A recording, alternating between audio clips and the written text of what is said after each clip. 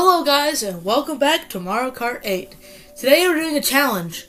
I cannot, I mean I cannot get hit by a green shell. Alrighty, so today we're going to be going as Dry Bones and we're going to go with a different card combo. So I already have a good combo that I like with Dry Bones. It's this type of car. It's the W25 Silver Arrow, Retro Off-Road, and then the same glider. It's my favorite combo. Now, it doesn't matter how I'm hit with the green shell. If I throw a green shell and I hit myself, the video ends. If somebody hits me with the green shell, the video ends. That's right. So this could be a really short video.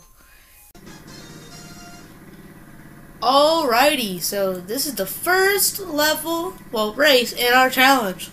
Let's see if we can even get through this race. I like the horns in this game. Dry Bones' horns is funny. Alright. Lakitu, start the race. Please? Thanks. Let's go. Let's hope I don't get hit by a shell straight away. Cause, oh, it's mirror mode. Oh, fantastic. I didn't realize that. Oh, you gotta be kidding me. Ow! I couldn't tell. Was hit by a green shell? I couldn't tell.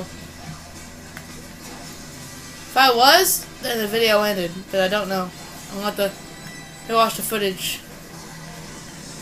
I don't think so.